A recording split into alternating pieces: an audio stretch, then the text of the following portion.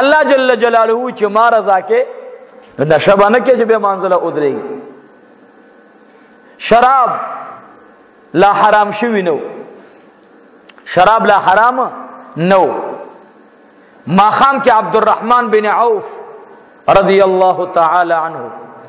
او علی کرم الله وجهه او درې سلور صحابه نورو د ماخام د مانزه ټیم راغی یو صحابي جمع ته وړاندې شو چې جمع ته وړاندې شو نو شراب به داسې خلق اسکل لکه د ابو په شان دي منه نو نو کم صحابي چې جمع ته وړاندې کېدلو هغه شراب منه نو نو هغه اسکلو نو دی آیات ته چلاړو قل یا ایها الکافرون لا اعبد ما تعبدون محبوبا ته دي کافرانو ته وایي چې تاسو د هغه چا عبادت کوئ او زه د هغه عبادت نه کوم تاسو د بوتانو عبادت کوئ زه د هغه عبادت نه کوم قل یا ایها الکافرون لا اعبد ما تعبدون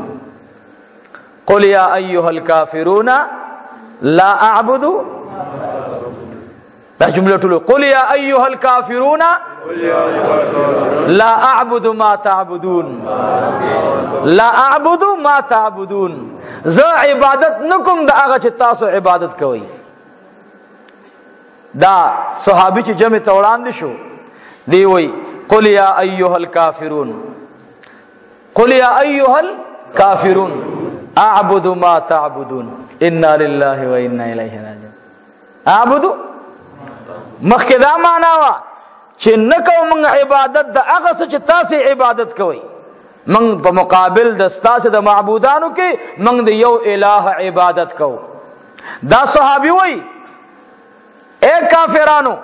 عبادت کو مونږه د هغه چې تاسو عبادت کوي نعوذ بالله من ذلک ترجمه بدل شو الله جل جلاله ته صحابه سمره ګران دي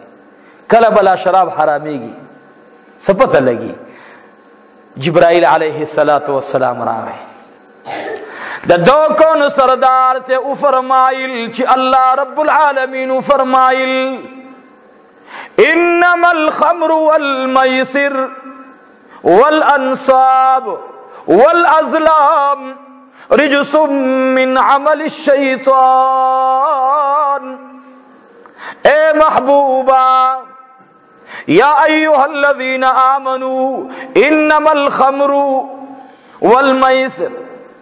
تاسی شراب سکی باقی نگنئی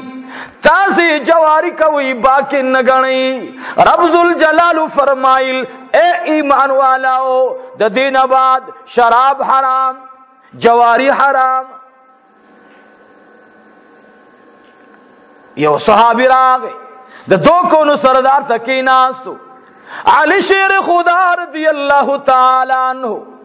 پسترګو باندې اوخ کې را روان دي د ماخام دعوت ورته شوې ده عبد الرحمن بن عوف وړاندې روان دی علي شیر خدا ورپسې روان دی کله عبد الرحمن وړاندې شي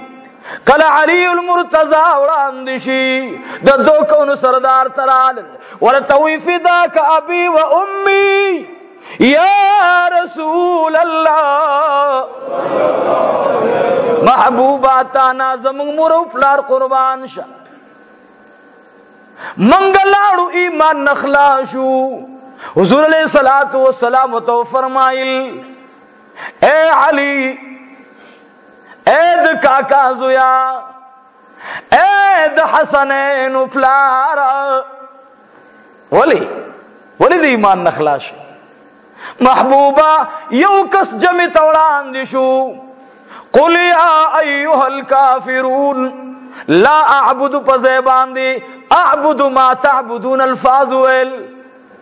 حضور علیہ الصلات والسلام تو فرمایل ستاسو دی مرګری به شراب سکلیو دین وړاندې وای او شراب سکلیو وای اے علی و اوری رب ذل جلال امر فرمایلو نن بعد شراب حرام دی نن بعد شراب حرام دی علی شیر خدا می د حضور علیہ الصلات والسلام نا سو قدم وړاندې لاړو د شګو یو ځای کې ځان ته داسې موړه غوند کې جوړ کړه ستونی ته ګوته یوړه او الټي وکړلې د دوه کونو سردار ته تپوس کوي اے علي د دین بعد حرام دي و یا رسول الله پته لګینا اسنه ک علی ته مرګ راشي او په خېټه کې شراب پرات وي اسنه چې رب العالمین تینا د رحمت توجه بل طرف ته واړی دې ته تقوا اوسوي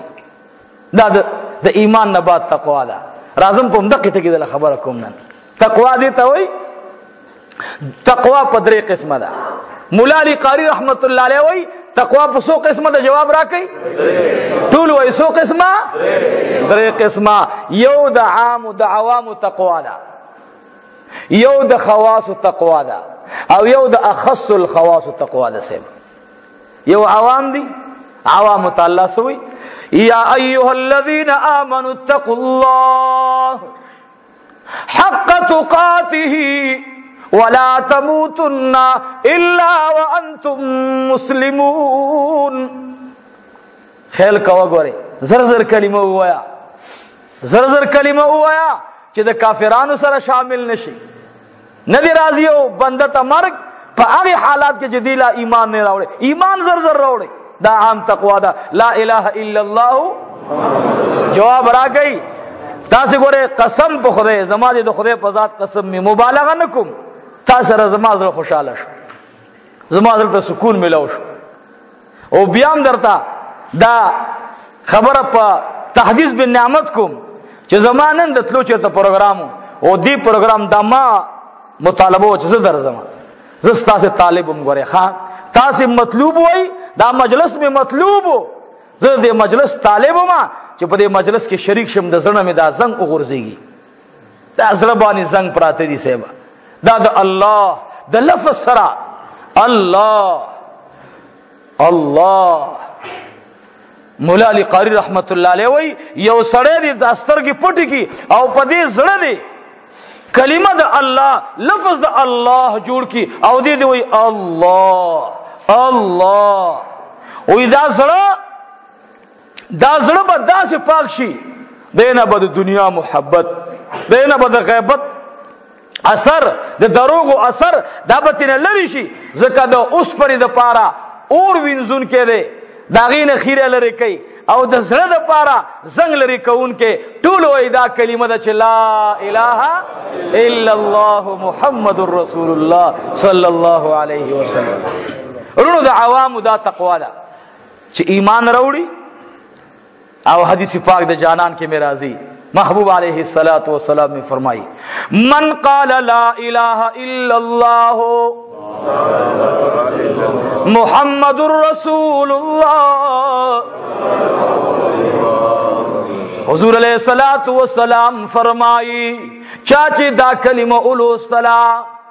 الله جل جلاله واحد لا شریک منلو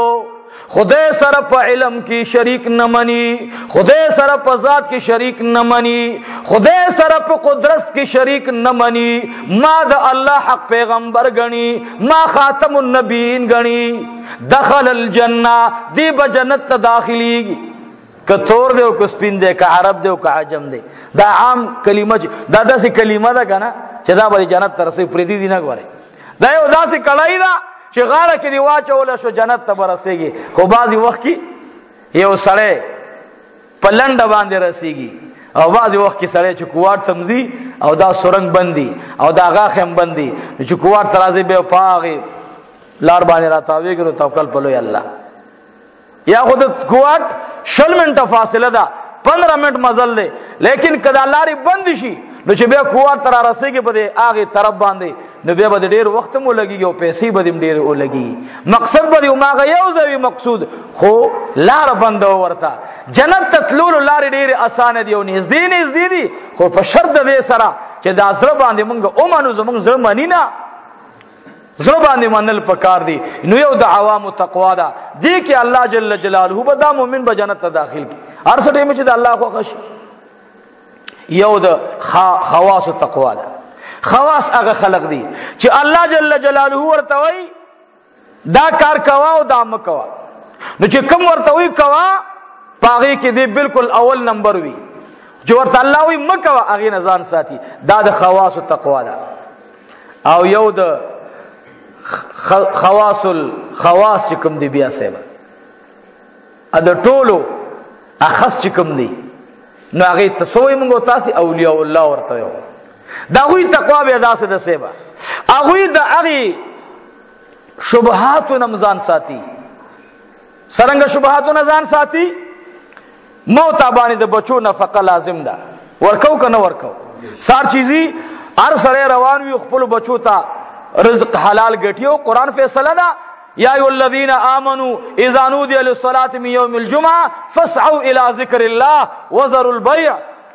او بیا وروسته الله فرمایي فاذا قضیت الصلاه هر کله چې تاسو د مانځه نه فارغ شئ فانتشروا فی الارض پس مکه کې خواره شئ او بتغوا من فضل الله زمیدار دې زمیداری کوي دکاندار دې دکانداری کوي ډرایور دې ډرایوري کوي ډاکټر دې ډاکټري کوي هر یو سړی د خپل خپل روزګار کې مصروف وي او طلب دې رزق حلال وبتغوا